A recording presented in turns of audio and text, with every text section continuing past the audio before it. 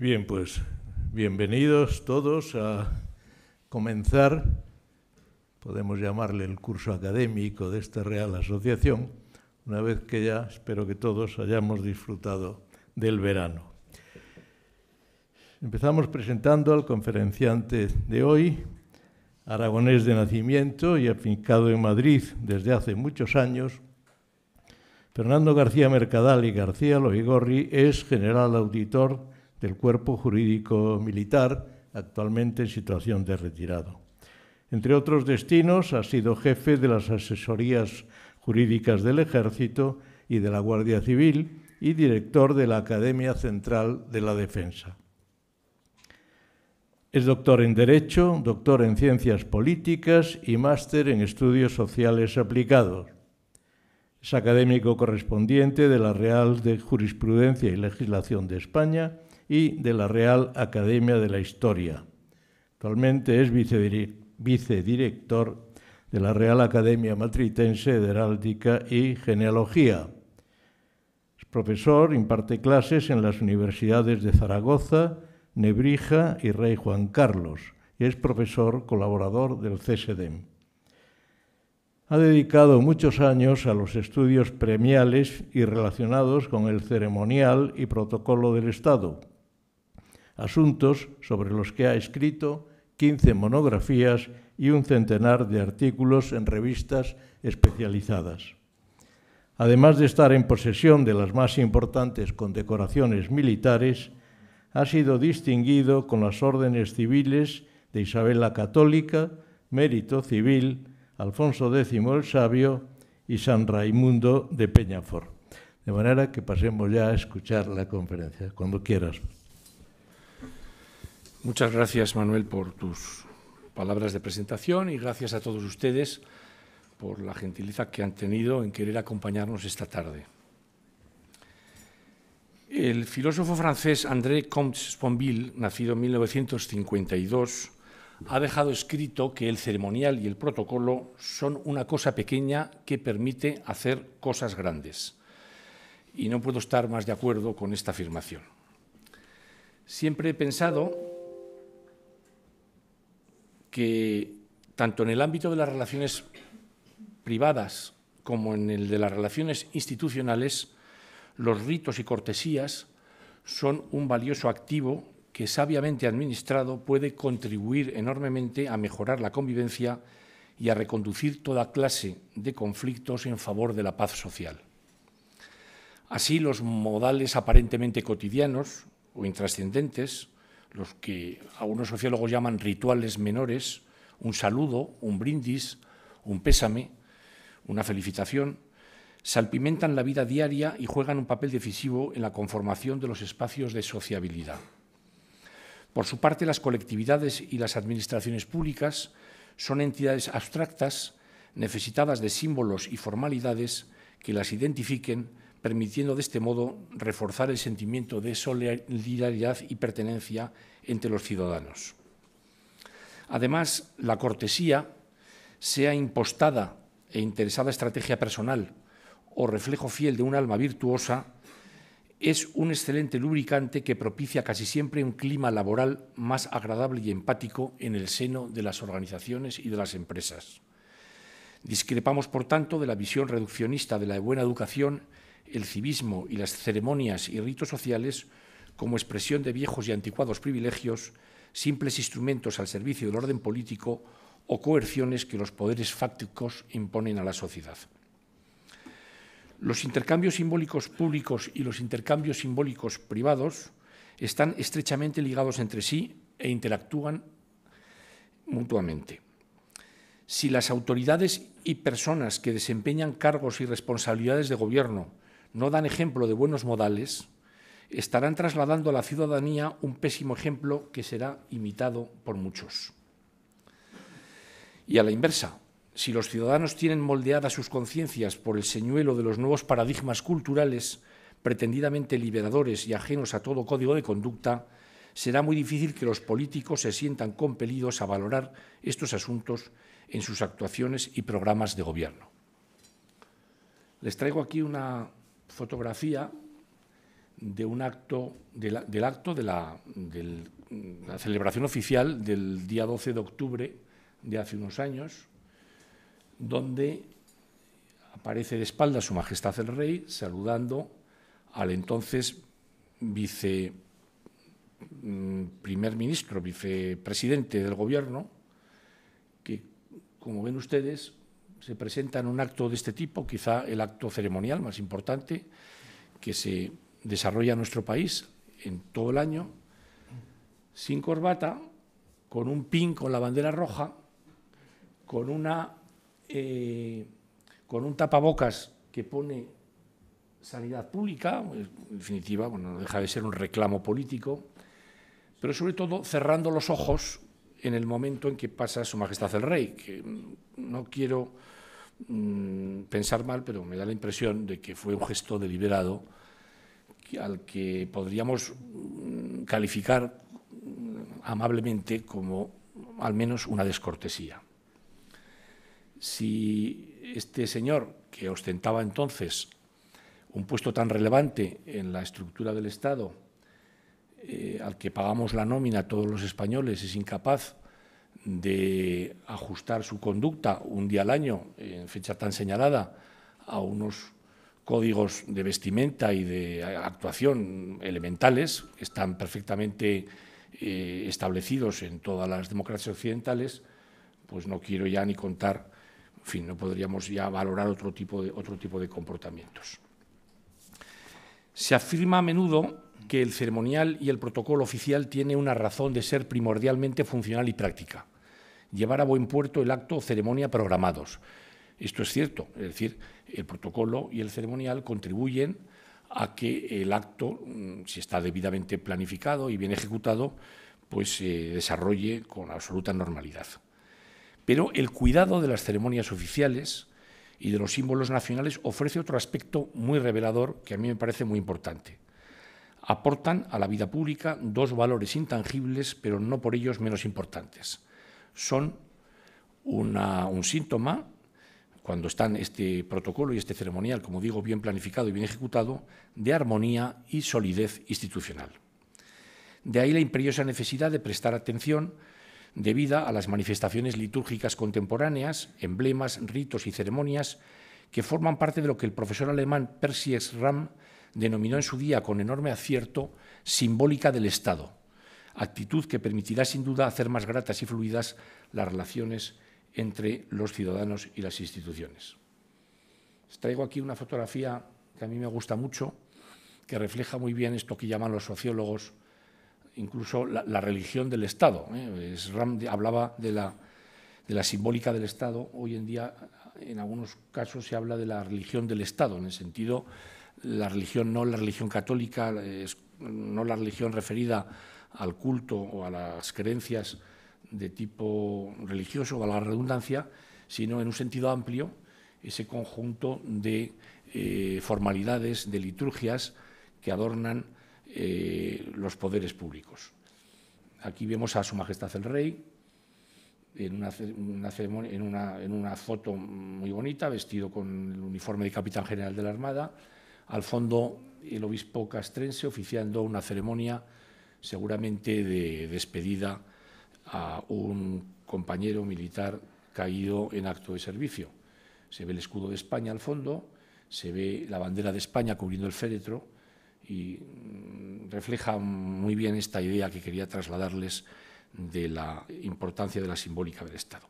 Cuando hablamos de ceremonias y de, liturgias del Estado, de, protocolo, siempre los que nos dedicamos a estas cuestiones, yo creo que la ciudadanía también en general en Europa, tiene muy presente como paradigma de todos estos asuntos muy bien eh, planificados y desarrollados eh, el, Reino Unido eh, y la monarquía inglesa, que han sido ejemplo a imitar en tantas cosas.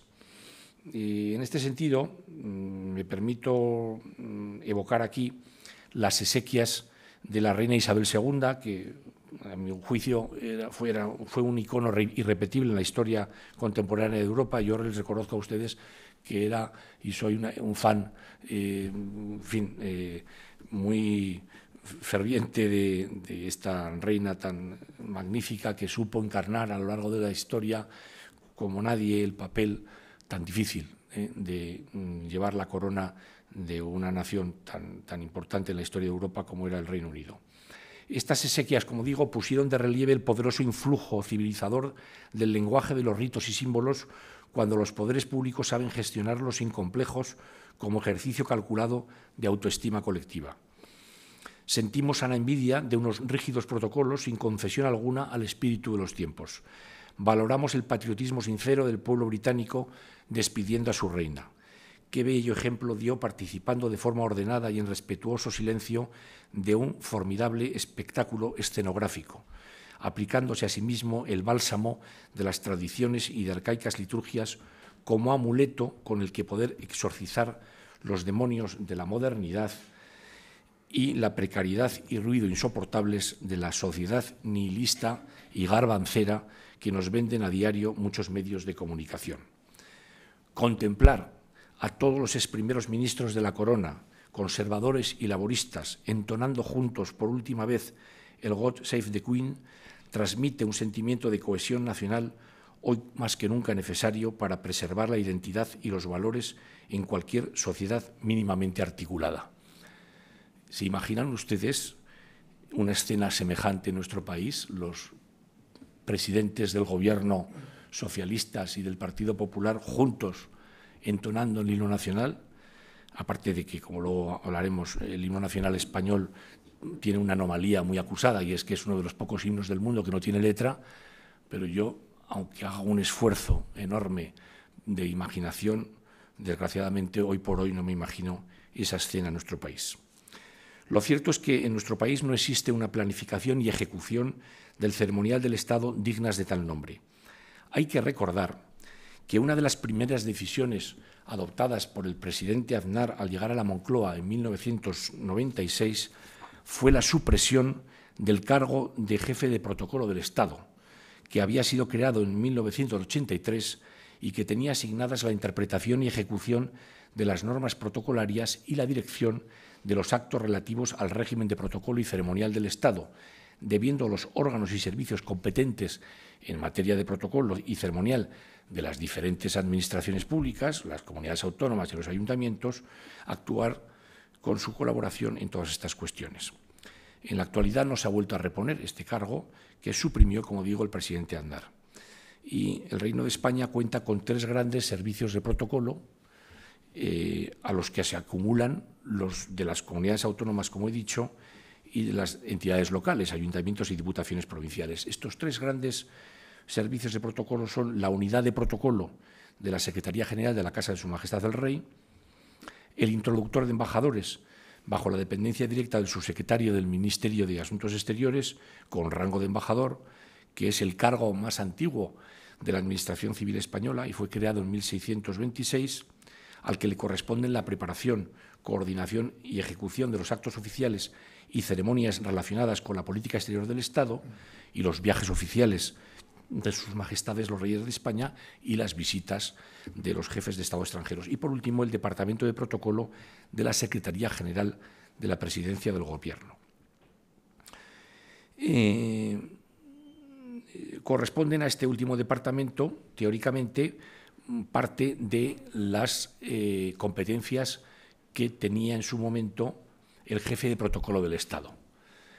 Me he planteado muchas veces si el señor Aznar no se equivocó suprimiendo este cargo, porque claro, el existir un jefe de protocolo del Estado con competencias comunes sobre todas estas cuestiones en todo el territorio nacional, pues eh, se podrían, entiendo, a lo mejor no sería así en la práctica, al menos de manera teórica, evitar estas eh, mezquindades y mm, estas eh, rivalidades protocolarias, sobre todo entre las, algunas comunidades autónomas, que no reflejan, sino mm, lo que también en este ámbito los administrativistas han llamado la insularización administrativa, la fragmentación de competencias y con ello pues evidentemente se ha resentido también en este caso la eficacia del ceremonial y protocolo del Estado como herramienta en manos del Gobierno para ordenar y relacionar las instituciones.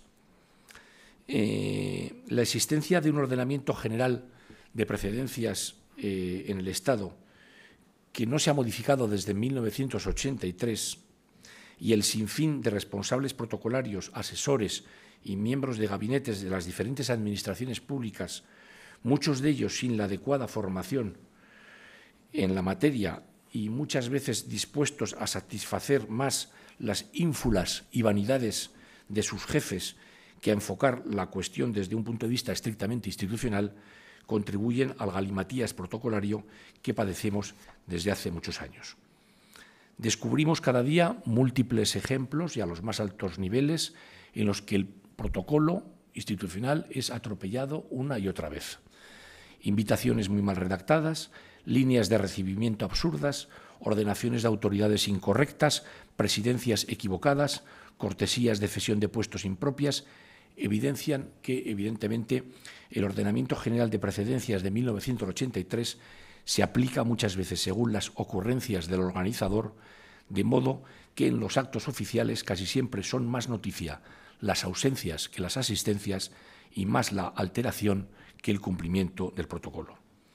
La polémica suele venir provocada por la propia complejidad de la norma y las encontradas interpretaciones a que se ven sometidos sus preceptos relativos a la presidencia de los actos y al orden de prelación de las autoridades concurrentes a los mismos.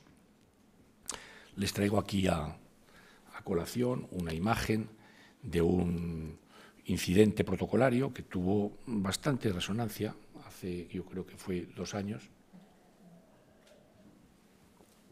con motivo de los fastos del 2 de mayo, la celebración oficial del Día de la Comunidad de Madrid, en nada menos que la plaza de la Puerta del Sol. Ya recordarán ustedes que eh, el, ministro Bolaños protagonizó un incidente con los servicios de protocolo de la comunidad.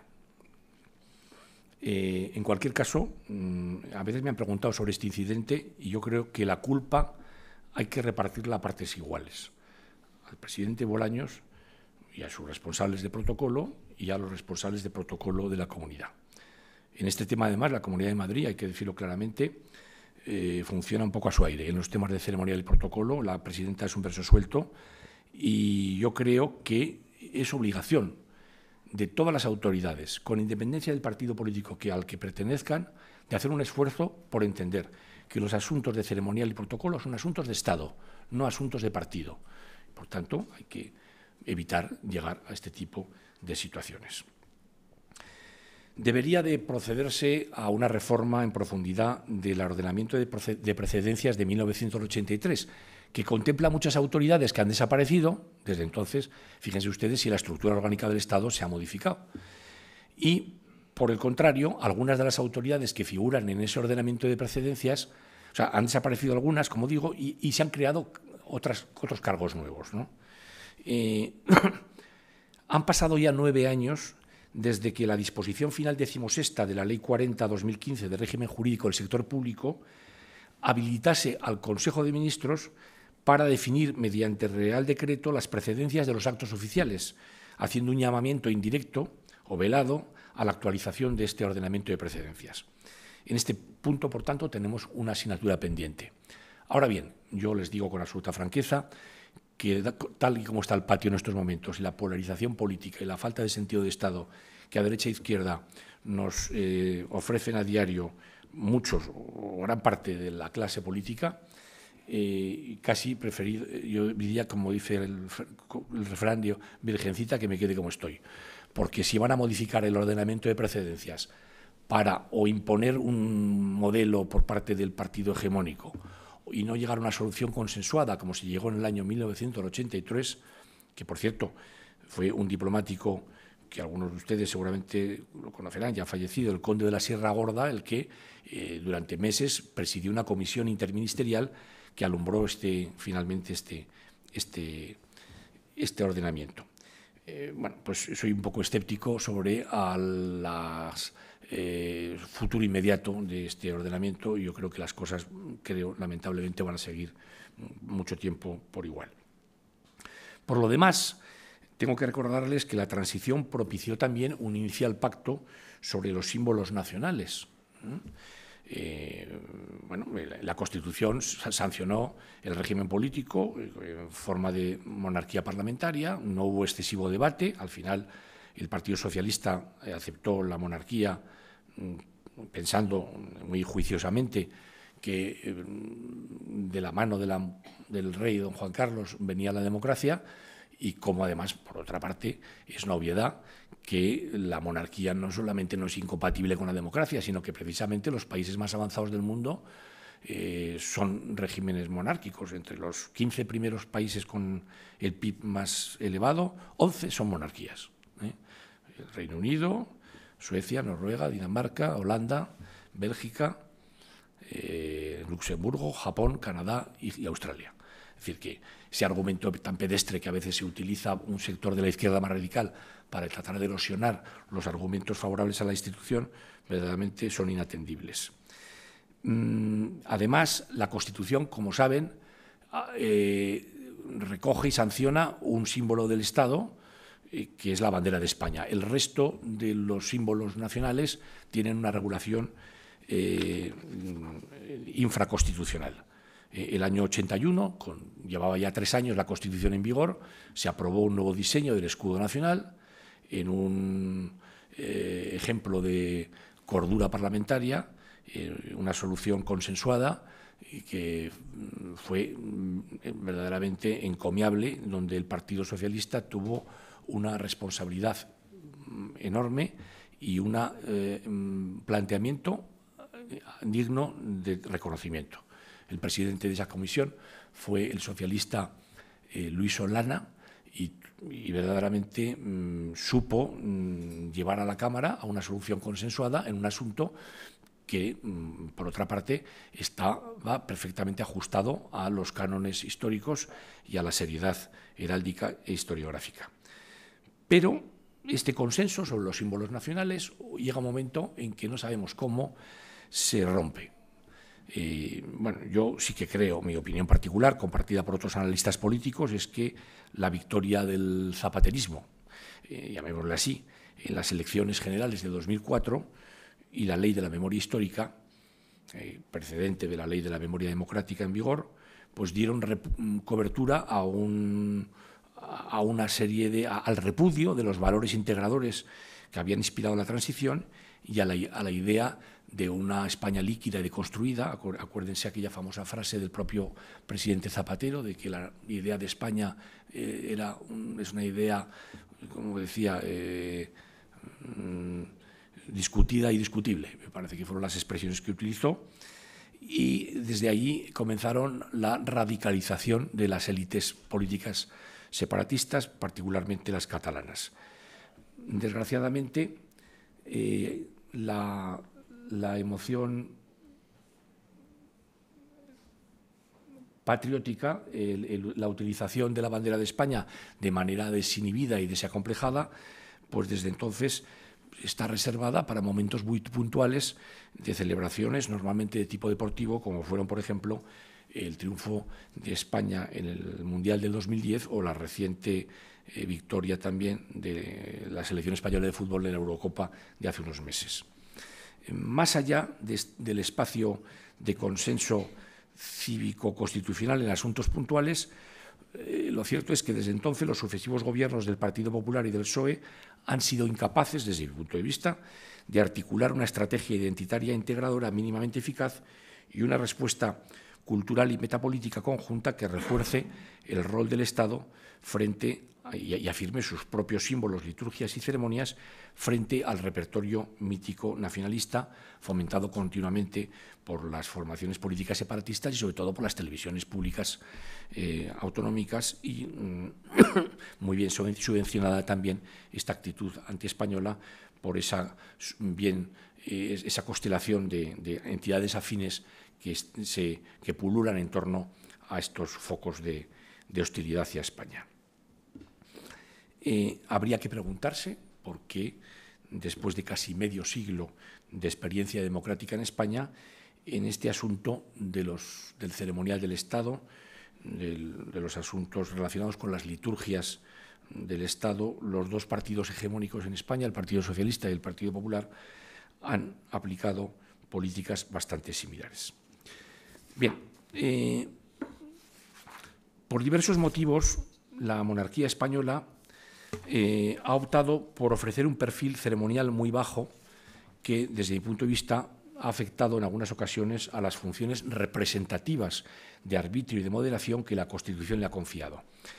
¿Qué ha ocurrido? Pues que la pérdida o dejación por parte de la corona del control efectivo del, espacio de representación propia, de representación simbólica, que le es consustancial eh, como máxima magistratura del Estado, ha propiciado que diferentes poderes subestatales, autonómicos principalmente, se hayan apresurado a cubrir el vacío ceremonial con sus propios instrumentos identitarios. Resulta un poco paradójico ver cómo eh, eh, celebraciones oficiales, digamos, de los poderes de Madrid, de la Administración General del Estado o de la propia Corona, son mucho están más desangeladas y tienen, tienen menos intensidad simbólica que muchas de las ceremonias autonómicas que se eh, ocupan en estos, mm, en estos eh, sobre todo en Cataluña y en País Vasco, pero también en otras autonomías se han dado cuenta las, las élites locales que reforzar este imaginario colectivo y estos símbolos autonómicos contribuyen enormemente a la cohesión social y territorial de sus territorios. Eh, descendiendo a nivel de calle, siempre me ha extrañado que la mayoría de las oficinas y dependencias públicas de nuestro país han dejado de exhibirse aquellos retratos de nuestro jefe del Estado, del rey don Juan Carlos, que proliferaron en los años de la transición. Es cierto que, las, en las dependencias del Ministerio de Defensa, de las unidades militares, este, esta omisión no, afortunadamente no, se, cumple, pero si se fijan ustedes, la mayor parte de las oficinas, cuando uno va a, hacer un trámite burocrático, a despachar un asunto oficial, pues mm, ha desaparecido las, fotos oficiales de, su, Majestad el Rey. Y desde luego, eh, otra cosa muy curiosa que he advertido es que en ninguno de los miles de kioscos, estancos o establecimientos de souvenirs diseminados por toda la geografía española, sobre todo en las zonas más turísticas, puede adquirirse en España una simple postal o fotografía de la familia real, de manera que un ciudadano extranjero poco avezado que viajara a España, desde luego, tendría pocas referencias externas para poder saber si vivimos en una monarquía o en una república. Yo aquí sí que verdaderamente creo que ese ente que, que se llama Patrimonio Nacional, que en realidad fue un nombre que puso eh, el general Franco a un organismo que administra eh, el, patrimonio de la corona, que no es un patrimonio privativo del rey, pero que son unos bienes, eh, los reales sitios, una serie de establecimientos mm, históricos muy importantes que están puestos al servicio de las funciones que tiene la corona constitucionalmente confiadas. Yo creo que los responsables del patrimonio nacional tampoco mm, están llevando una política muy entusiasta por divulgar, eh, digamos, toda esta, el merchandising monárquico, si me permiten la expresión. Y, bueno, pues yo creo que se podría hacer algo más. Por otra parte, hay incumplimientos también muy irritantes sobre estas cuestiones. Miren, eh, este es un retrato oficial vigente de Su Majestad el Rey. Yo creo que Patrimonio Nacional, que está encargado, y por eso he sacado el asunto a colación, de la distribución de las fotografías oficiales del rey, podía diseñar una estrategia de, seguimiento, de control y de obligar a las instituciones a que en las dependencias públicas se coloque debidamente el retrato del rey. Eh, esta obligación de colocar el retrato del rey, les pongo, eh, por ejemplo, en el salón de plenos de los ayuntamientos, tiene, está recogida en una norma básica de nuestro ordenamiento jurídico, que es el Reglamento de Entidades Locales del año 1986. Miren ustedes cómo colocó la alcaldesa Colau en Barcelona, la segunda ciudad de España, cuando fue requerida reiteradamente, al final ya en vía judicial, para que cumpliera lo dispuesto en el ordenamiento jurídico, y miren que de manera más torticera y ruin puso un retrato de un tamaño de un folio, ¿eh? no sé si lo aprecian en la fotografía. Para dar cumplimiento de una manera mm, en claro fraude de ley eh, a la normativa en vigor. Es decir, si las autoridades del Estado consienten comportamientos de este tipo, nada menos que en la segunda ciudad de España, a su alcaldesa, que es la representante, la primera representante precisamente del Estado de España en la, ciudad, pues verdaderamente yo ya no sé qué, más podemos decir. Creo que esta foto la he traído pues porque resulta enormemente eh, elocuente. ¿eh? Eh, es verdad, es verdad, porque a lo mejor alguno de ustedes está pensando, bueno, este señor nos está dando una imagen muy, no sé, negativa de todo. Bueno, no, es verdad que perviven en nuestro país algunas ceremonias eh, con implicación directa de la, en su organización de la Casa de Su Majestad el Rey, que mantienen no sé por cuánto tiempo el brillo y esplendor propio de una monarquía milenaria como la nuestra. Me van a permitir que traiga dos fotografías, porque son dos ceremonias que estas sí son un ejemplo de buena planificación y de mejor ejecución. Esta es una fotografía de uno de los coches de, que, participan en la ceremonia de presentación de cartas credenciales, que ya he leído en la prensa que, bueno, primero fue la, lógicamente la pandemia que obligó a suspender este tipo de, de ceremonia. Como saben ustedes, aquí cada vez que mm, cinco o seis veces al año el rey eh, recibe en el Palacio Real a los embajadores que mm, han sido designados para representar a sus respectivos países ante España y esa mm, ceremonia de la entrega de cartas credenciales tiene un trayecto previo que va desde el Ministerio de Asuntos Exteriores en la Plaza de la Provincia al Palacio Real a través de unos carruajes con unos empleados de palacio vestidos a la Federica. Y bueno, ahora el último problema es que los caballos que arrastran estos carruajes son los caballos, lógicamente, que necesitan pues, una, digamos, educación, entre comillas, especial.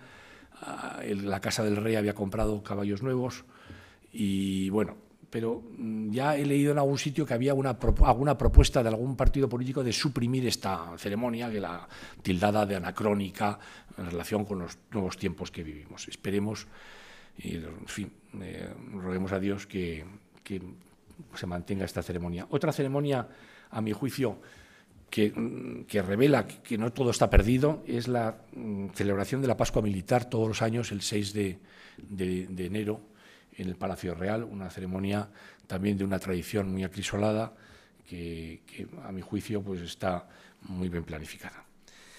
Pero en cualquier caso, sí que habría que denunciar que en la monarquía parlamentaria, como en principio su propio nombre dice, la centralidad de la vida política debería estar en el Parlamento.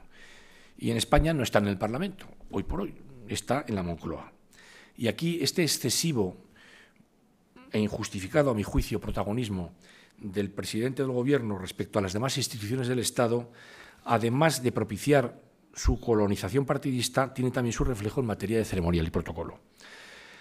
Es cierto que históricamente ha habido algunos desencuentros protocolarios entre la zarzuela y eh, la Moncloa.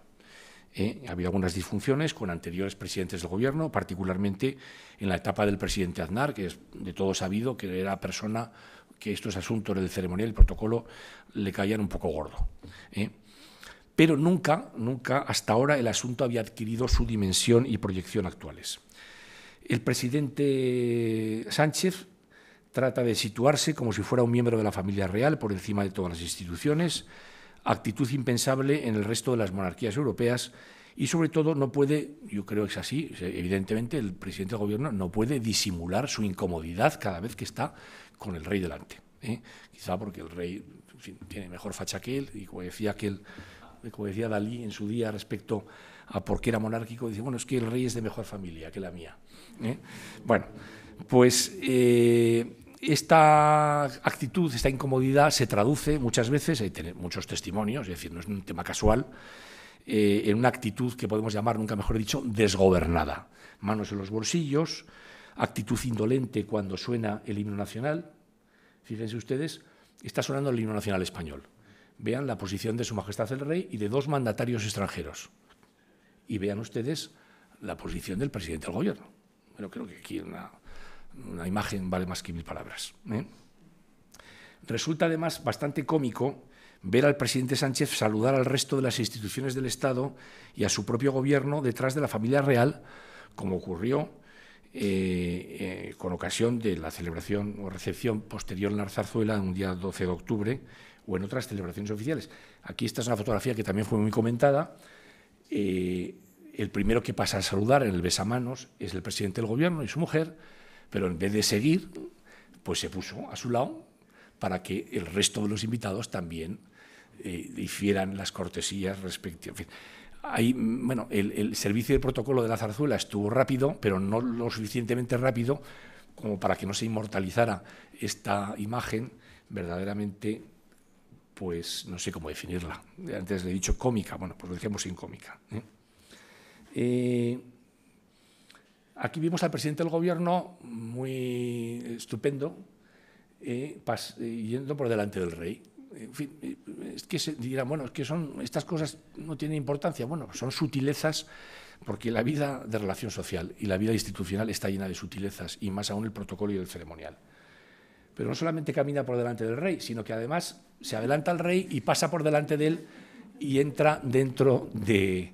Eh, estaban, creo recordar que estaban en la estación de Atocha, eh, inaugurando una nueva el trayecto del AVE, creo que con Zamora o no sé dónde. Bueno, y entonces pues, pues nada, pues pues es, que le da igual, ¿eh? él es así y ya está. Bueno, eh, claro, mm, si nos percatamos de que el, edificio que tienen ustedes a la izquierda es el Palacio de la Zarzuela, el Palacio de la derecha es el de la Moncloa. ¿Eh? Bueno, verdaderamente casi tiene más aspecto de palacio la Moncloa que la Zarzuela. ¿eh? Eh, como saben ustedes, el rey no vive en el Palacio Real, el rey vive en un edificio oculto a los ojos de los madrileños, el Palacio de la Zarzuela, que es un edificio bastante sencillo y muy elemental. pero además es que, claro, el señor presidente del Gobierno tiene a su servicio en este momento cuatro veces más de asesores que el Gobierno del Reino Unido al completo.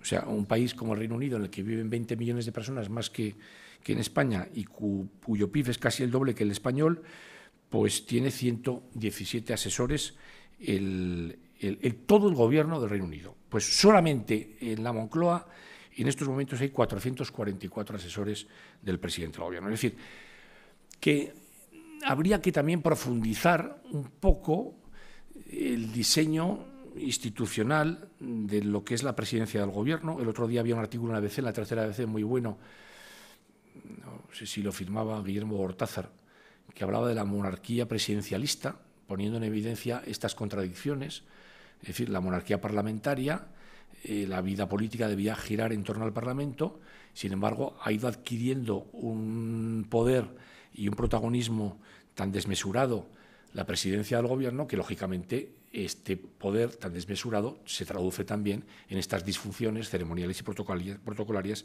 que les estoy hablando. Miren,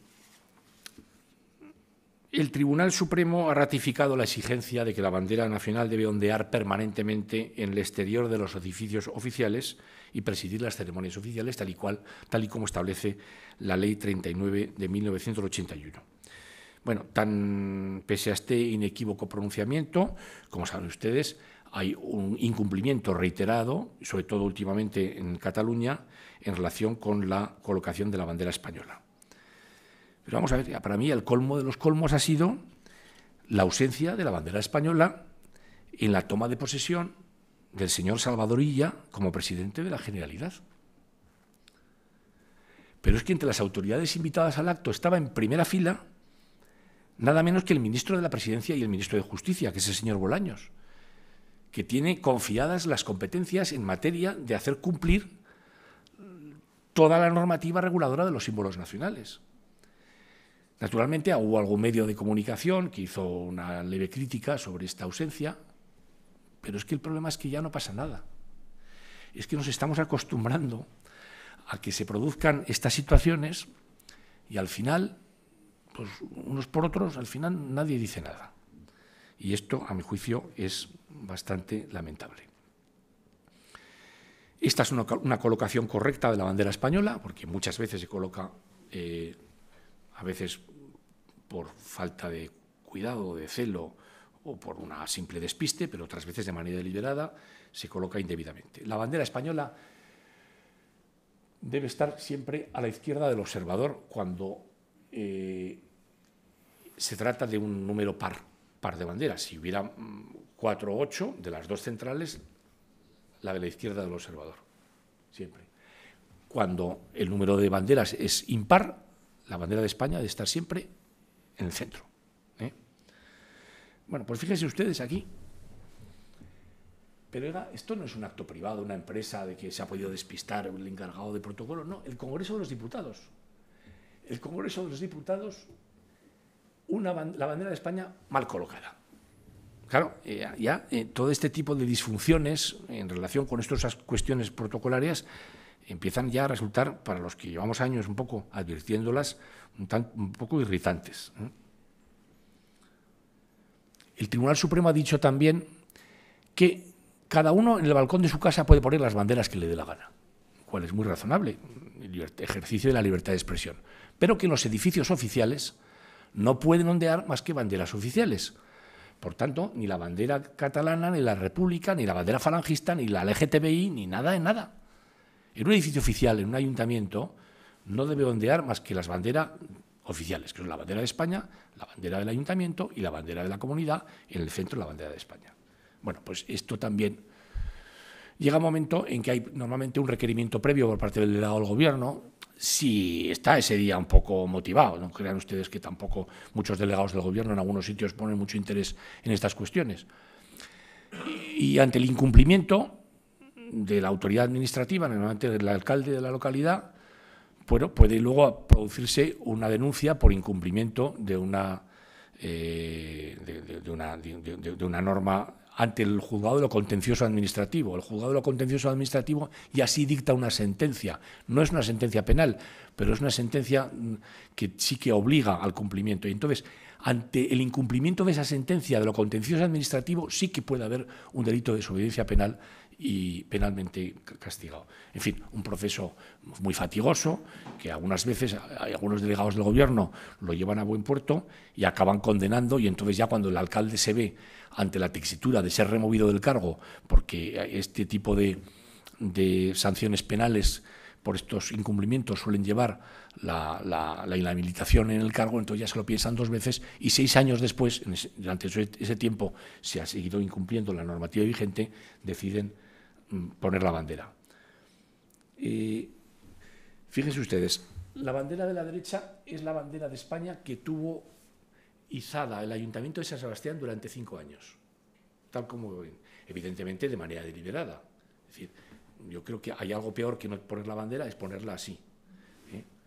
Y esta fotografía la he tomado yo antes de ayer, en la, en la avenida de la Reina, eh, de la Reina Victoria, eh, yendo a clase, me di cuenta, efectivamente, para ser justos, se trata de unas antiguas dependencias municipales que han dejado de ser ya dependencias municipales hace dos años. Pero vamos a ver, cuando cierra la tienda el ayuntamiento, porque ahí estaba la Junta de Distrito, lo primero que tiene que hacer cualquier funcionario con un mínimo de sentido de sus obligaciones es recoger de manera en fin, adecuada la bandera de España y el resto de las banderas y, bueno, llevarlas a donde sea o proceder a su destrucción de manera discreta. ¿Eh? ¿Se imaginan ustedes los responsables de un acuartelamiento militar que dejan, porque, en fin, el acuartelamiento se ha quedado las instalaciones obsoletas ¿eh? y desaparece de allí la unidad militar y dejan la bandera española durante tres o cuatro años? Bueno, pues esto es lo que ha pasado. Está la bandera de España, que se ve allí, está la bandera de la comunidad, la bandera de España, la bandera de la Unión Europea y la otra bandera que debe ser la del ayuntamiento. Ahí sigue. Verdaderamente lamentable. Bueno, aquí otra, otra anécdota, vamos a llamarlo así. ¿eh? La señora Miriam Nogueras, portavoz del grupo parlamentario de Junts en el Congreso de los Diputados, tiene el cuajo, delante de todos los periodistas, de retirar la bandera española cada vez que eh, da una rueda de prensa o hace un comunicado público ante los medios acreditados en la carrera de San Jerónimo. Bueno, sí, hay algún comentario, algún pie de foto crítico en alguna prensa sensata, pero vamos, nada más. Ni, por supuesto, eh, la presidenta de la Cámara, eh, actuando con el reglamento en la mano, ha llamado la atención a esta señora que manifiesta de manera tan eh, injustificada su hostilidad a símbolo, al símbolo primordial de nuestro país, pero que naturalmente no renuncia a la nómina que le pagamos todos los contribuyentes todos los meses. La declaración oficial de luto oficial también es otro tema, desde el punto de vista ceremonial y protocolario, bastante, en fin, eh, debatido. ¿eh? Aquí eh, también algunas comunidades autónomas, a ver, las competencias en, materia de política exterior son competencia exclusiva del Gobierno. Por tanto, yo entiendo que, por ejemplo, por poner el caso de las exequias de, la, de doña Isabel II, ni la, competencia, ni la Comunidad de Madrid, ni creo que fue la de Castilla-León, tenían competencias para proceder a la declaración de luto oficial por el fallecimiento de Isabel II y, por tanto, a arriar la bandera española. Aquí existe también una falta de criterio, una falta de armonía y un desencuentro protocolario y, y algunas autonomías no acaban de tener muy claro cuáles son las competencias que tienen en esta materia. Bueno, esto fue otro ejemplo verdaderamente sorprendente. O sea, una reunión al más alto nivel del presidente del gobierno, nada menos que con el rey de Marruecos. Quienes hemos trabajado en la administración sabemos que previamente a esta reunión ha habido 18 reuniones preparatorias previas, que el presidente viaja con 14 o 15 mm, o, con 40 asesores y responsables, que naturalmente antes de proceder a entrar en este recinto al almuerzo en cuestión es supervisado todo por parte de los responsables de protocolo españoles y marroquíes, y ahí está la bandera de España con el escudo al revés. ¿Mm? Bueno, cosa que ha pasado más de una vez. Este es un encuentro del presidente del gobierno también en una cumbre de la OTAN y ahí estaba la bandera de España con el escudo al revés. Bueno, eh, podríamos seguir. Aquí les traigo el escudo de España, como les he dicho anteriormente, aprobado por una ley del año 83, fue el resultado de, una tramitación legislativa, a mi juicio, bastante acertada, pero los responsables de, aprobar el nuevo escudo de España, eh, luego de la ley, se, se desentendieron de su diseño gráfico. Hubo un real decreto unos meses después, y verdaderamente la plasmación gráfica de la ley, de la descripción del escudo que estaba en la ley, es bastante deficiente. Esta es una cuestión que las personas que íbamos dedicando a estos asuntos llevamos reclamando hace años y que ha sido corregida por vía indirecta porque cuando Su Majestad el Rey asume nuevas armas con motivo de su eh, proclamación al trono, ahora hace diez años, entonces ya sí que eh, la Casa del Rey, asesorada por la Real Academia de la Historia, encomienda el dibujo de las armas del rey, y este es un dibujo previo del escudo de España, ven que las armas del rey con respecto a las armas nacionales o el escudo nacional son prácticamente las mismas, quitando los ornamentos externos de las dos columnas, que en este caso están sustituidas por el toisón de oro.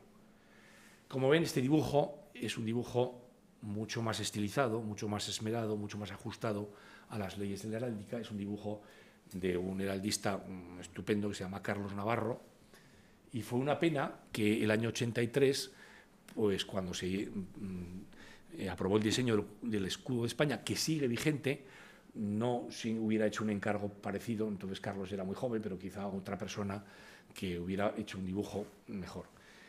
Para satisfacción de quienes nos ocupamos de estos asuntos, hemos comprobado que que, la propia Moncloa ha empezado a utilizar por vía de hecho este escudo, quitando el tema del color rosa chicle del león, que es un horror, pero este escudo es ya el de Carlos Navarro. Seguramente, entiendo yo, que el fabricante de las banderas ha surtido a, la Moncloa que este escudo que hemos visto anteriormente está ya colgado en el Boletín Oficial del Estado y aunque formalmente el diseño sigue siendo el originario del año 83, vemos que por vía de hecho en algunas publicaciones oficiales y en algunos escritos ya se está se está corrigiendo. Lo mejor sería que se hubiera corregido modificando el diseño del año 83, eh, aprobando un nuevo Real Decreto. Pero bueno, aunque la forma no es muy eh, canónica, eh, la finalidad sí. Así que, bueno, pues nos tenemos que felicitar. Pero en estos temas de los símbolos hay que estar muy alerta. Fíjense, a primeros de año saltaba la noticia de que la mesa de la Cámara del Senado, integrada en su mayoría por miembros del Partido Popular, había decidido sustituir este bellísimo escudo que identifica al Senado desde hace décadas por un logo, naturalmente, mucho más moderno, eh, que mm, sus autores decían que, eh, esto es textual, ¿eh? no, es una, es una cosa, en fin, no es un chiste, que con este logo se evitaba el, el estrés el estrés gráfico, el estrés, perdón, el estrés visual que producía la contemplación de este escudo antiguo y tal. Bueno, ante esta majadería nos levantamos eh, algunos, en algunos medios, hacemos cada uno lo que podemos. hay que decir, hay que reconocer que el grupo parlamentario Vox puso el grito en el cielo y parece ser que de momento recularon. Pero yo he entrado a la página del Senado y es, verdad que no han empezado a, aplicarlo, pero la decisión sigue allí colgada eh, como mm, nueva imagen institucional. O sea que mm, o estamos muy encima o verdaderamente nos la intentan colar por todas partes. Bueno, vamos a pasar muy rápido ya. El himno nacional, el himno nacional de España tiene una anomalía que es la letra. ¿eh? yo creo que ya va siendo hora de que los dos principales partidos de la España se pongan de acuerdo en dotar de una letra al himno nacional. Yo comprendo que esto no es fácil, ha habido algunos intentos frustrados, pero mm, esto no podemos seguir así. ¿eh? a mí no me consuela que la República de San Marino y que Bosnia-Herzegovina eh, sean los dos únicos países del mundo, junto con España, que tengan un himno que carezca de letra. Un, un himno que carece de letra no puede socializarse, no puede ser entonado, no solamente en las ocasiones más solemnes, sino también en las ocasiones más festivas, por la ciudadanía, de manera espontánea, y ese la, la, la, la eh, que oímos en, la televisión cuando suena el himno español, sobre todo al comienzo de las retransmisiones, las grandes retransmisiones de partidos de fútbol, me resulta a mí verdaderamente muy chusco. Las fiestas nacionales, bueno, pues la fiesta nacional, pues también habría que decir que tampoco es una fiesta que esté muy socializada. Hay que recordar que aunque trae su origen en una disposición ya del siglo XIX, de finales del XIX, fue un parlamento de mayoría socialista el que aprobó la ley vigente que declara el día 12 de octubre como fiesta nacional de España a todos los efectos. Ha habido manifestaciones sobre esta fiesta mm, verdaderamente, absolutamente eh, injustificadas por parte de miembros del Gobierno que formaban de estos últimos años, ¿eh? que no han que de manera absolutamente desancomplejada han dicho que la fiesta nacional es una fanfarria que tal y que con ella. Bueno, de hecho hemos visto antes una fotografía de uno de los vicepresidentes del gobierno asistiendo a, tal ocasión. Bueno, y vamos un poco mm, terminando para llegar a unas conclusiones. El tema de las condecoraciones y, eh, y del derecho premial. Bueno, yo aquí les diría una cosa que, es que pasa muchas veces desapercibida y no, he visto demasiadas veces, no, he visto nunca escrita. Vamos, lo que yo le he comentado algunas veces con las personas que tratamos estos asuntos. Miren ustedes. Los presidentes del Gobierno de España han, incumplimiento, han incumplido perdón, el ordenamiento jurídico vigente en el mismo momento de su toma de posesión. Me refiero al señor Rodríguez Zapatero, al señor Rajoy y al señor Sánchez. Porque desde el año 2002 el vigente reglamento de la Orden de Carlos III establece su artículo número 3 que el presidente del Gobierno, en el momento, o sea, en la ceremonia de investidura de su cargo, ¿eh? será, en el momento de tomar cargo como presidente del Gobierno, será investido como caballero o dama de la Orden de Carlos III y en calidad de tal actuará como gran canciller de la Orden. Esto fue una previsión que introdujo el presidente Aznar. Este reglamento se aprobó bajo el mandato del presidente Aznar. El presidente Aznar, aquí con buen criterio, para que nadie dijera que esa nueva previsión estaba diseñada para favorecerle personalmente, dijo, bueno, a partir del próximo presidente del gobierno entrará en vigor. ¿eh? Bueno, han visto ustedes eh, en algún momento en las ceremonias, si recuerdan, de estos presidentes, pues nada. O sea, ¿qué, sentido tiene aprobar una disposición y en el primer momento en que hay que aplicarla, incumplirla? Esto es un poco lo que está pasando en estos temas en, nuestro país. Bueno, y no me resisto esto, por favor. Mire, el ministro eh, Álvarez, gran canciller de la Real Orden de Isabel la Católica, imponiendo la orden en su modalidad de Gran Cruz al entonces, hace escasas fechas, al secretario general de la OTAN saliente. Le pone la banda al revés. Pero bueno, vamos a ver, pero, pero vamos a ver, el ministro de Asuntos Exteriores, pero si hay, pero si hay allí, pero este señor se desplazaría a, Bruselas con, con, dos o tres asesores, pero es que nadie le dice, bueno, Fernando, tienes razón, pero tampoco es que sea tan riguroso. ¿Qué, más da? porque en definitiva, lo que en este país al final todo se luce, bueno, pero ¿qué más da? ¿Qué más da? ¿Qué más da? ¿Qué más da? ¿Qué más da? Nos acaban robando la cartera. El problema es que, es que esto refleja una falta de seriedad enorme en todos estos temas. Bueno, se puede superar esto. ¿eh? Miren ustedes cómo pusieron las grandes cruces de Isabel la Católica, el embajador de España en México, a cuatro próceres mexicanos en la sede de la embajada hace unos años. Esto es ver para no creer. ¿eh? Yo tuve que pensar si era un montaje, si era una cámara oculta, si no, no. Así. o sea, es un embajador de España. Puso una orden que está en la Cancillería del Ministerio desde, hace, desde que se fundó, en la antigua Secretaría de Estado y luego Ministerio de Asuntos Exteriores. Bueno, en, cada año en la Comunidad de Madrid la presidenta pone las bandas, unos años a la derecha, otros a la izquierda, según le dé ese día. Eh, tiene una jefatura de protocolo también allí, con muchas personas allí. Bueno, pues yo no sé,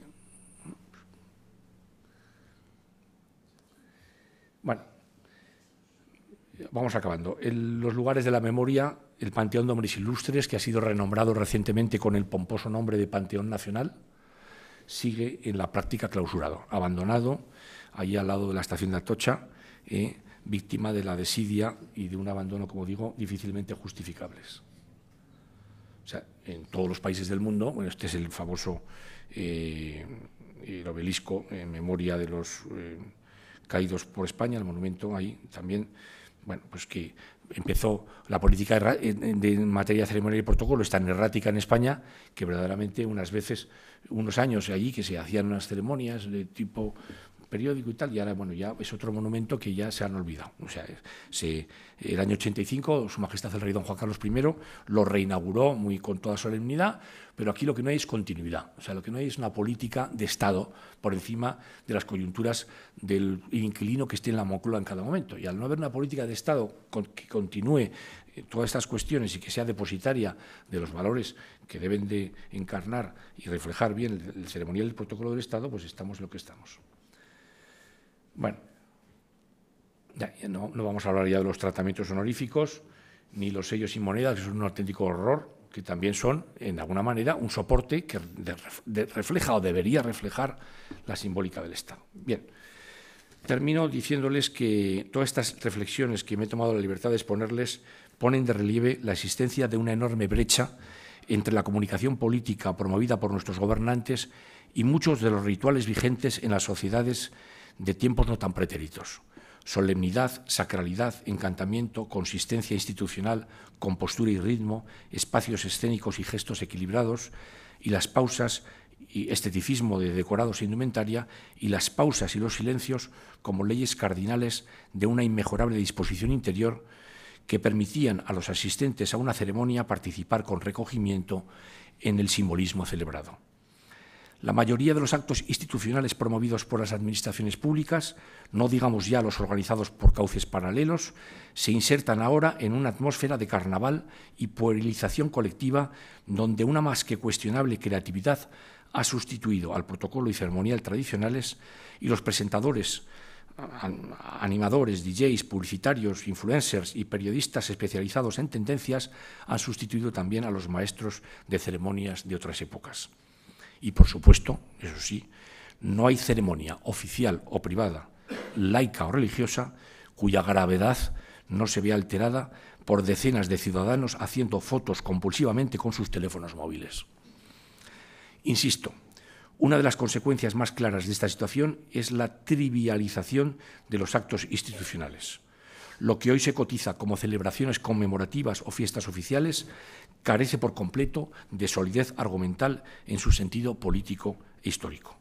Se trata, en la mayoría de los casos, de ficciones colectivas diseñadas específica y metódicamente como espectáculos de masas con los criterios de mercadotecnia propios de una compañía mercantil pongo aquí una última foto de un acto que a mí particularmente no me gustó mucho, celebrado en el patio de la Armería del Palacio Real con motivo de la pandemia. ¿eh? Resulta obvio que las funciones representacionales del Estado, al, al, subordinarse a la lógica del consumo y del mercado y compartir tramoya, formatos y puesta en escena con otras iniciativas de carácter particular, han visto debilitados sus contenidos de orden institucional y su eficacia simbólica y ritual y esta deficiente previsión arroja un balance muy insatisfactorio en términos de cohesión social y territorial en nuestra nación. Y cabe preguntarse si todas estas disfunciones y descuidos protocolarios que les he expuesto no son propiamente tales, sino reflejo de una crisis más profunda de nuestro sistema de convivencia y del funcionamiento de las instituciones. Dicho todo esto, creo que es justicia subrayar la excepcionalidad que suponen los actos y ceremonias organizados por las Fuerzas Armadas que mantienen un tono general de recogimiento, sobriedad, solemnidad y emoción mm, y que, en definitiva, reflejan el cuidado con que sus responsables suelen asumirlos.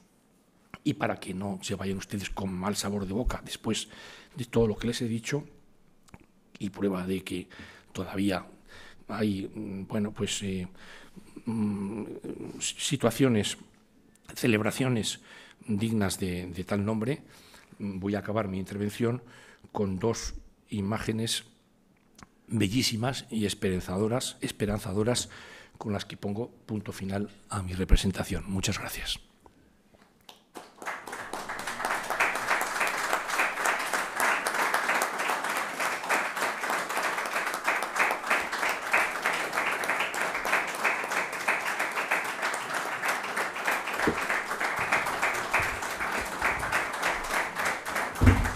Muchas gracias, Fernando, por esta conferencia yo creo que todos compartimos todo lo que has dicho.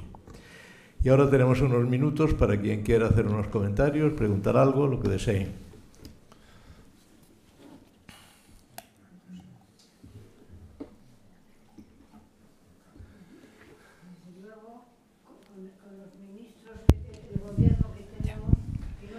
Presidente perdón por hablar, quien no debe hablar el primero, que soy yo, debía ni hablar, pero soy hijo y nieto de quienes vistieron con honor el uniforme militar, mi abuelo, como sabes, compañero tuyo, y mi padre también, aviador, piloto, bueno, bien. sobre todo soy español. Y mm, otras cosas más. Quiero nada más que hacerte, felicitarte por tu magnífica intervención, que nos recuerda todo lo que está pasando en España, ¿verdad? Es una peste de una una pandemia de mala educación, esto no tiene sentido. ¿no? Y aparte de eso, quiero rendir homenaje a Su Majestad de haber tenido la, dignidad inmensa de aguantar que cualquier patán catalán de 50, otro de no sé dónde por ahí, le, trate mal, vamos, cuando tenía que haber dicho, vaya usted por café y traiga un tabaco, algo así, vamos, o vaya usted a limpiar el zapato. El rey ha sido el rey. Entonces mi pregunta, y perdón por todo el largo, es que dado que todos los autoridades, instituciones y todos los organismos que están cobrando de nosotros lo que quieren, tienen un departamento de protocolo y tienen un departamento de educación en general. Dadas todas estas marranadas que han hecho, ¿conoces algún caso de dimisión o castigo de alguno de esos encargados de mantener el protocolo y de decirle al señor fulano de tal, no se adelante usted al rey que no tiene que pasar? Pregunto, ¿conoces alguna dimisión? No en el ámbito militar, que eso está claro que lo hay, pero en el ámbito civil alguien ha dimitido que me están cobrando por hacer lo que tenían que hacer. Gracias, perdón. En este momento no conozco ningún caso concreto, pero sí que es verdad y salgo en favor también una, una baza en favor de, de los responsables de protocolo de muchas instituciones que a veces están sometidos, me consta, a los caprichos y a las veleidades de los propios políticos. Y, mm, eh, y no es fácil contrariar al jefe. Yo recuerdo, yo, he oído de primera mano una anécdota que refleja muy bien un poco esto que has planteado.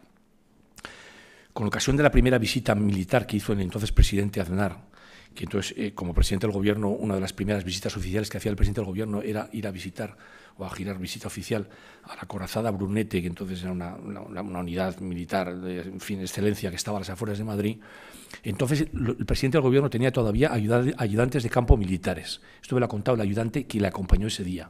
El presidente Andar, que no había hecho el servicio militar, nada más entrar en las instalaciones militares, empezó a saludar a todos los presentes, eh, iba de paisano, lógicamente, llevándose la mano a, a, la cabeza y contestaba al saludo de todos los generales y del Estado Mayor de las unidades. Entonces, este teniente coronel, ayudante de campo, en cuanto pudo, de manera discreta, le advirtió al presidente del gobierno que estaba incurriendo en una, digamos, eh, disfunción protocolaria bastante llamativa, porque lógicamente todos los militares presentes se quedaron perplejos de esta actitud. Y me dijo, Fernando, la mirada que me echó el presidente del gobierno. Cuando yo le hice estas indicaciones, fue una mirada que no me dejó en ese momento mm, bajo los estragos de un síncope cardíaco, ¿eh? porque Dios no quiso. O sea, mm, y, o sea que, claro, es decir, ¿y qué, qué, va a hacer este pobre hombre? Pues hizo lo que tenía que hacer, llamar discretamente la atención de su jefe, pero luego el jefe hizo lo que le dio la gana. Entonces, quiero decir que muchas veces los responsables de protocolo, al final, pues hay gente con mucha personalidad y hay políticos, hay políticos que son bastante bien, eh, eh, son muy, muy obedientes eh, y, receptivos a las indicaciones que les hacen los responsables de protocolo, y hay otros que son chuletas que vienen diciendo, usted me va a dar a mí eh, mis lecciones de cómo tengo yo que saludar, o cómo tengo que pasar revista, o cómo tengo yo que hacer esto, o hacer lo otro. Entonces,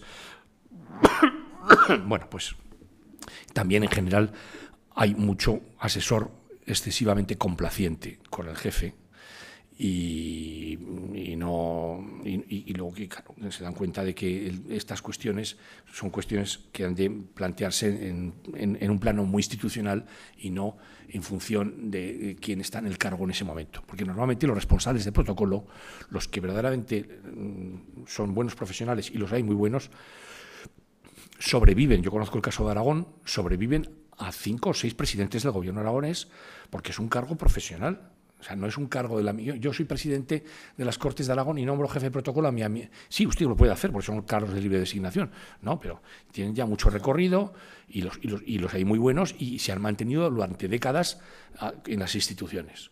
Esos son. Ahora, hay otros que son más políticos, ¿eh? estos asesores, y entonces están dispuestos por complacer al jefe a hacer lo que haga falta. ¿Alguna cuestión más? Me parece que antes alguien levantó la mano. Un momento.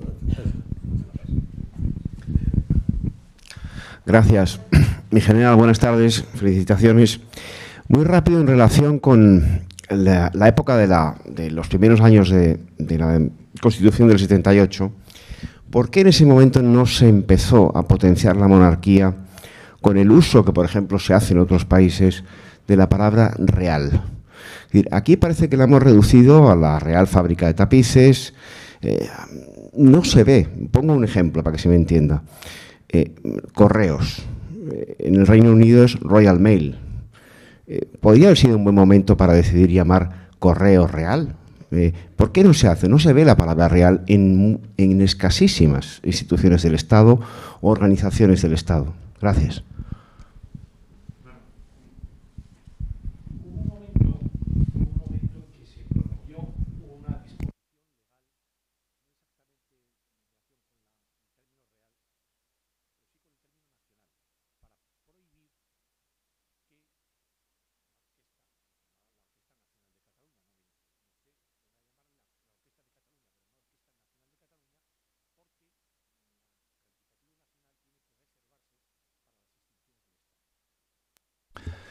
Y entonces, eh, ¿por qué? Pues porque empezaban ya a surgir en algunas comunidades autónomas un abuso del Día Nacional de Cataluña, el Día Nacional de Galicia, y aquí al final todo es nacional menos lo que es España, que es otra paradoja y otra contradicción de nuestro sistema político vigente. Con el tema de Real, eh, vamos a ver, la Casa de Su Majestad el Rey tiene confiado eh, la concesión del título de Real a entidades privadas. Esto tampoco existe ninguna norma que lo diga escrita, escrito, pero sí que es un uso que, de sentido común, eh, que esto es una prerrogativa regia común además a todas las monarquías. Efectivamente, tiene mucha razón. Hubo unos años titubeantes y claro, se inició, una política de una excesiva contención. La monarquía no quiso, y en este aspecto, bueno, creo que es impecable, no quiso, mm, digamos, mm, el año 75, Su Majestad el Rey Don Juan Carlos I quiso huir de una idea que pudiera asociarse a la monarquía, a los fastos de la monarquía alfonsina, de su abuelo, y, los tiempos eran muy distintos. Pero claro, eso es una cosa, y otra cosa es que la corona mm, haya llegado al punto de que mm, haya cedido ese espacio de representación simbólica que como primera magistratura del Estado le corresponde y tiene asignado por la Constitución y claro, ese espacio de representación simbólica ha sido suplido por otros, por otros poderes subestatales, ya lo he dicho anteriormente. Entonces, yo recuerdo incluso haber visto una memoria eh, unas primeras memorias del fiscal general, la memoria anual, eh, que redacta el fiscal general y que lo eleva al Consejo General del Poder Judicial, al, Tribunal Supremo y a las autoridades del Ministerio de Justicia. Yo he, visto hasta los años 90 que ponía el fiscal general del reino. Ya eso se suprimió. No, pero yo sí que lo he visto, lo he visto, yo lo he visto por escrito, o sea, yo tengo un ejemplar en casa. El fiscal general del reino. Se suprimió. Sí que se logró, sí que se logró que en los tratados internacionales, porque está establecido en la ley, eh, en una ley, no sé si la acción exterior, España cuando firma convenios y tratados internacionales con países de regímenes monárquicos, se mencione la palabra Reino de España. Eh, no se diga España simplemente, Reino de España. Pero es verdad que se, que se, podía ir un poco más allá. Yo ya no sé si en el DNI pone España o Reino de España. En los pasaportes ya en este momento tengo dudas de si en el Pono del Reino, pero una época que ponía España solo. Es decir, es que al final eso queda al albur del funcionario del turno que decide en el Ministerio en un momento determinado aprobar el nuevo modelo del DNI. Yo creo que ahí sí que es verdad que falta una política mm, más clara y, más desacomplejada a la hora de, reflejar pues, que, España es eso, una monarquía. ¿eh? sí.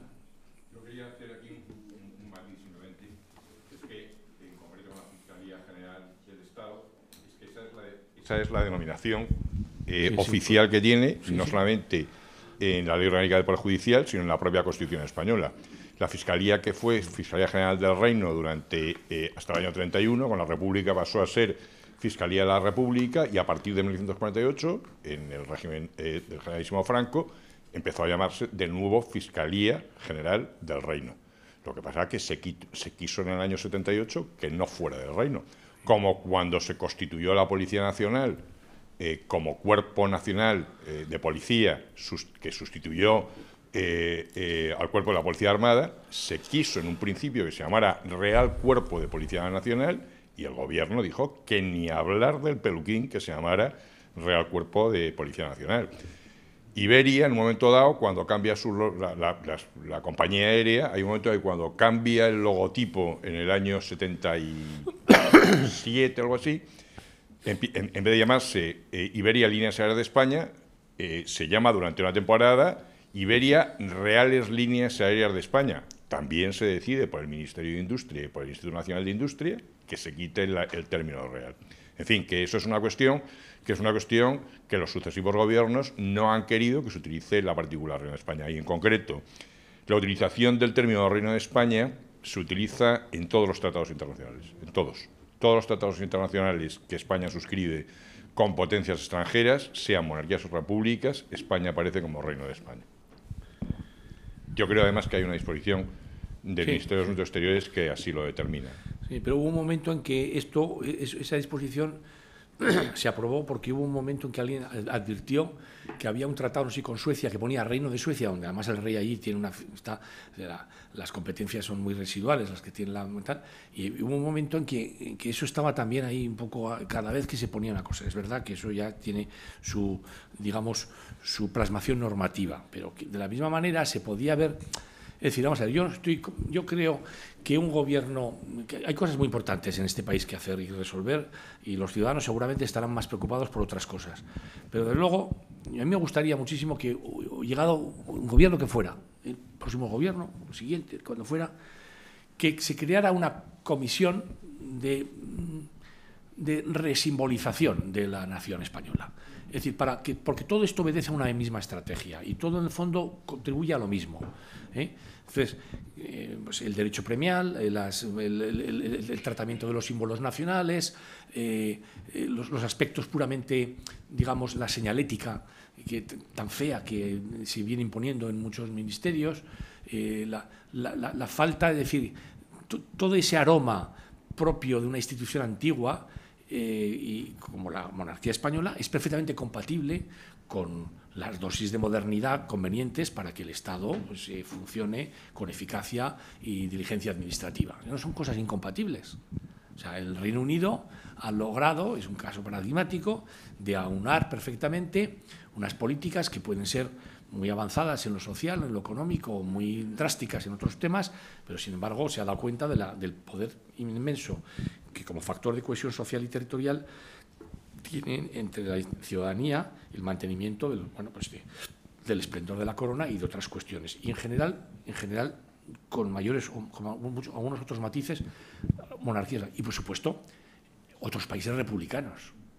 Ojo, que no estamos hablando de la monarquía española, es que en otros países republicanos todas estas cuestiones del ceremonial del Estado son tratadas con muchísima más eh, seriedad y con muchísimo más rigor que en España. Entonces, claro, aquí hemos ido cediendo poco a poco. Bueno, esto, pues lo que decía antes, bueno, pues esto que tampoco es importante, esto tal.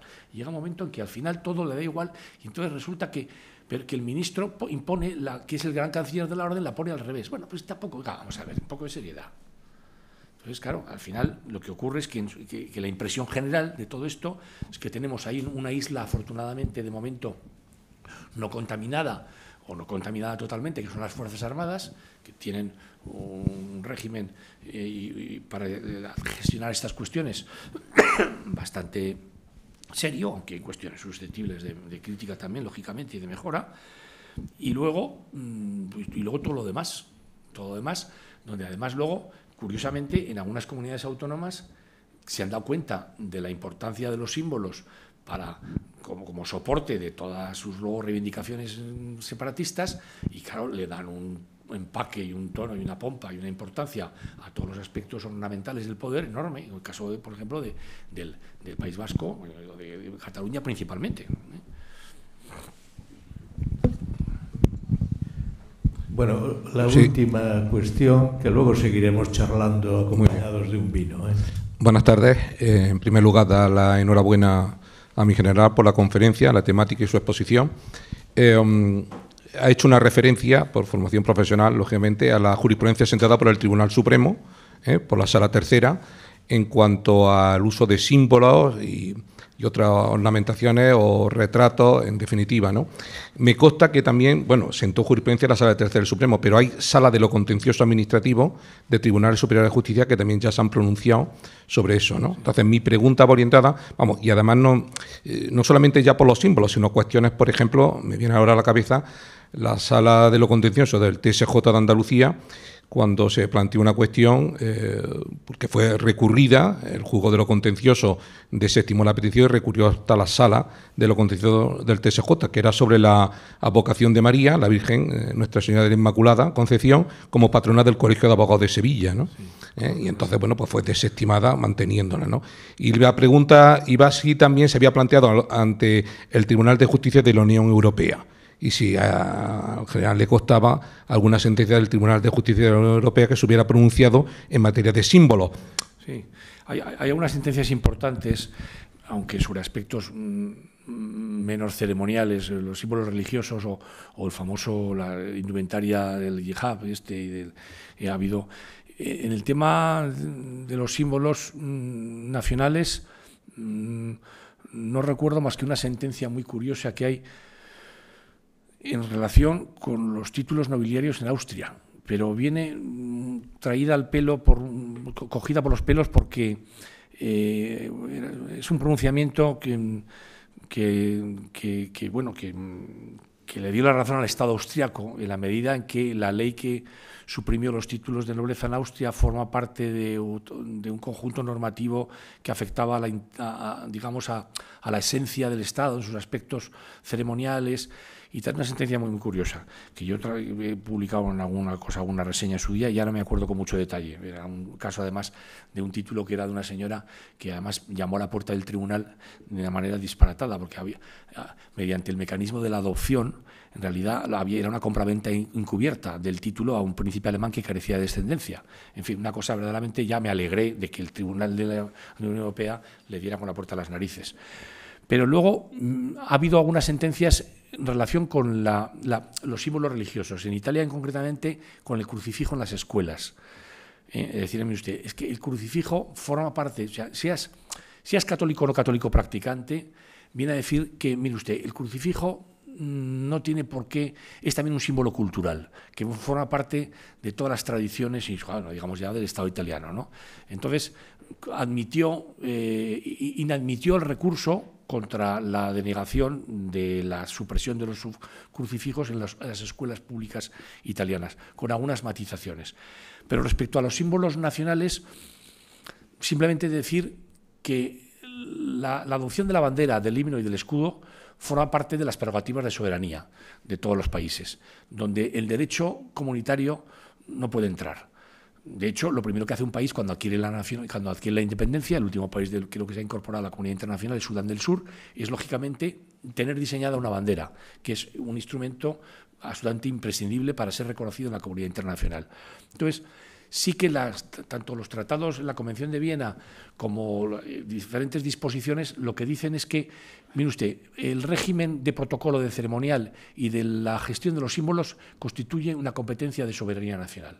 De hecho, ni siquiera la Unión Europea ha impuesto una norma del uso de la bandera de la Unión Europea en los países miembros. Ha dado unas recomendaciones, ¿eh? pero no ha, dicho, mire usted, la bandera de la Unión Europea tiene que ondear junto a la bandera nacional en tales fechas o en siempre. No, no, no, no, ha dado ese paso. ¿eh? Entonces, mm, sobre esta premisa, creo que sería difícil que hubiera un pronunciamiento eh, en esta materia, salvo que fuera no sé, eh, a un tema penal, lógicamente, que puede ser que por ese es el famoso delito de, injurias a la, bandera, de, menosprecio a los símbolos nacionales, que por esa vía pudiera haber algún pronunciamiento si eso afecta o no a la libertad de expresión, el quemar una bandera o no quemarla y tal. Pero en cuanto a lo que puede ser la estructura organizativa de los símbolos nacionales, yo creo que no, no ha habido ningún pronunciamiento que yo sepa de los tribunales de la Unión. Bien, pues muchísimas gracias Fernando por tu magnífica conferencia. Gracias también a los que han intervenido con sus preguntas y comentarios y ahora vamos a compartir un vino.